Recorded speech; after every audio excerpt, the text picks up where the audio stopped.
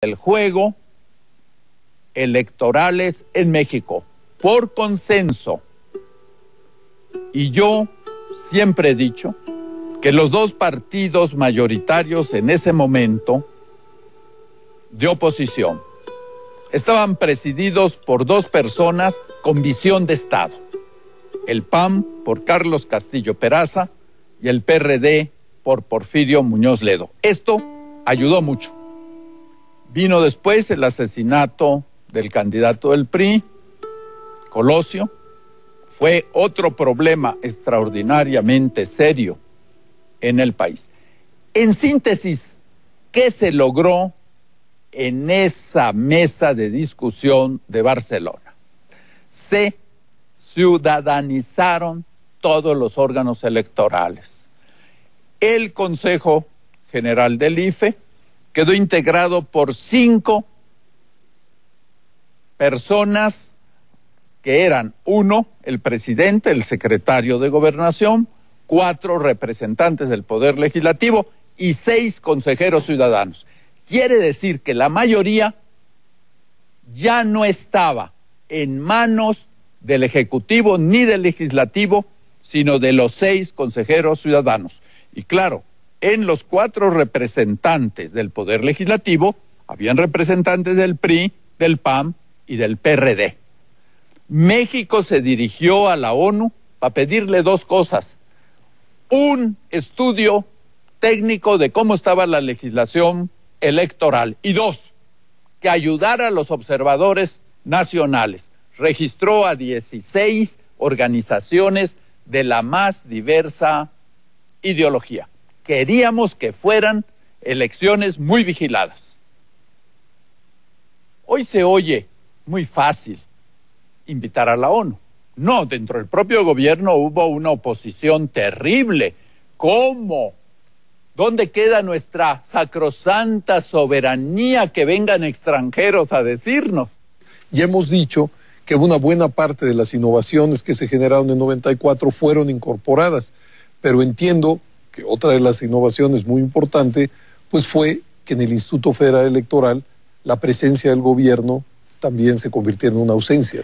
Sí, alguna de las cosas que se avanzó notablemente en 94 en el proceso de ciudadanización, como decía el doctor Carpizo, del IFE se culmina en 96 al hacer que ya no haya eh, como presidente del Consejo al secretario de Gobernación ex oficio, sino que sea un consejero presidente electo en la Cámara de Diputados a propuesta de los grupos parlamentarios y ocho consejeros, eh, ahora se llaman electorales a partir de 96, también con el mismo procedimiento. Pero de manera muy especial, además del importante capítulo de la justicia electoral, eh, tiene que ver con las condiciones de equidad a la reforma 96, sin lugar a dudas. Como se había reconocido objetivamente por el propio presidente constitucional en su toma de posesión, dijo el doctor Cedillo, mi elección fue legítima, fue legal, pero no fue equitativa. Se trabajó particularmente en ello por lo que se refiere al financiamiento a los partidos y al acceso a los medios de comunicación, y esto se desarrolló de manera importante. Y todavía hay cosas que perfeccionar, pero nos hemos quedado muy rezagados en, en el mismo ritmo rediseñar las reglas de ejercicio del poder político, que no es otra cosa que el régimen. En México ha cambiado, pero por la fuerza de los hechos, no por la voluntad política concertada en cambios constitucionales. Ahora se presenta la oportunidad con la reforma política de abordar muchos de estos temas que están en la agenda pendiente del país, pero hay que decirlo, no todo es asunto de diseños. También los desempeños cuentan mucho de los servidores públicos que se hacen cargo de esta institucionalidad renovada pero ampliamos la puerta de la casa para que la pluralidad la habitara y el reglamento interno de la casa para el uso de las áreas comunes sigue siendo el reglamento cuando solo una familia la habitaba. Esto tiene que cambiar. Eh, estoy convencido que el diseño de máxime ya con la reforma de 2007 que fortalece nuevamente las atribuciones del Tribunal Electoral y se establece un sistema auténtico de justicia y, eh, electoral integral en materia constitucional y legal, yo pondría énfasis en la importancia de, que se fortalezca las razones que sustentan las decisiones de los tribunales electorales. Cuando decía Hamilton de que no se tiene eh, eh, un tribunal, un juez, el poder de la bolsa o de la espada, eh, sino el del discernimiento, yo creo que esto es muy importante que se preocupen eh, los órganos jurisdiccionales electorales en fortalecer las razones, esto es la fundamentación y motivación de sus sentencias, que es lo que da legitimidad a un órgano y esforzarse de esta manera como creo que en buena medida se ha venido hacer. Como hemos visto, nada ha sido fruto de la inercia, nada ha sido fruto de la casualidad, han sido auténticas construcciones políticas a las que han concurrido fuerzas políticas distintas y que permiten que hoy en nuestro país la diversidad ideológica y política se manifieste con mucho mayor vigor y con mayores capacidades de llegar a los cargos electivos que lo que sucedía en el pasado. No hemos llegado a una estación terminal, pero creo que vale la pena valorar lo que se ha hecho en estos años. De nuevo, muchas, muchas gracias. Gracias. Muchas gracias.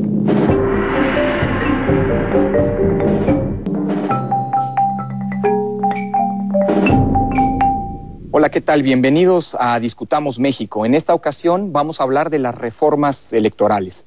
El día de hoy vamos a precisamente analizar cuáles han sido estos cambios, las necesidades que tuvieron eh, o que buscaron resolver y cuál es, digamos, la ruta sobre la que hemos caminado por la vía electoral en la última parte del siglo pasado y en la primera década del presente.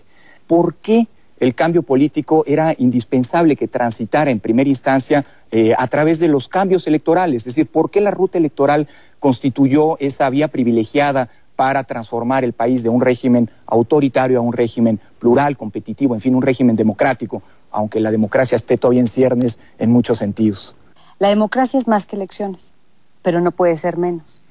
Creo que conseguir ese pisito básico era el objetivo fundamental de una serie de reformas que empiezan en 1977. De hecho, hoy México es un ejemplo de transición y cambio político, de democratización por la vía electoral, porque era ese el fin a través del cual, digamos, teníamos que ir transitando gradualmente. Siempre tuvimos elecciones, de hecho regularmente hicieron elecciones, pero esas elecciones no, no, no, no, dotaron al régimen político de una calidad democrática, sino a partir del 77 nos dice, Irma, ¿por qué no éramos un régimen democrático? ¿Por qué las elecciones no sirvieron en ese momento para eh, legitimar, digamos, democráticamente al régimen? El punto es que en la práctica, por distintas razones históricas que tal vez no valga la pena abundar, pero sí constatar, el dato es que los procesos electorales fueron una práctica, pero no el elemento de, constructor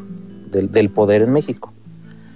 Y si recordamos simplemente el siglo XX, pues hubo rutas de cambio político ajenos a ese marco constitucional, pero todo, todo confluyó vía eh, esa confrontación y la ineficacia de esas rutas a seguir insistiendo en el camino electoral. Entonces, cuando se definen las primeras oposiciones con capacidad de transformación, y ya, y ya no estoy hablando del 77, porque esa fue una reforma legislativa, no fue el cambio del proceso de la práctica electoral. Ya nos ubicamos a principios de los 80 en términos reales y nos ubicamos en determinados espacios de la sociedad mexicana, más concretamente hacia el norte, orientados hacia el norte, en donde se configuran los primeros actores con la capacidad material de hacer viable lo que estaba previsto en el marco constitucional. pensando en Chihuahua. Estoy pensando en Chihuahua, Nuevo León, Sonora, parte Baja California. Este, esos nuevos actores eh, sociales son los que le dan eh,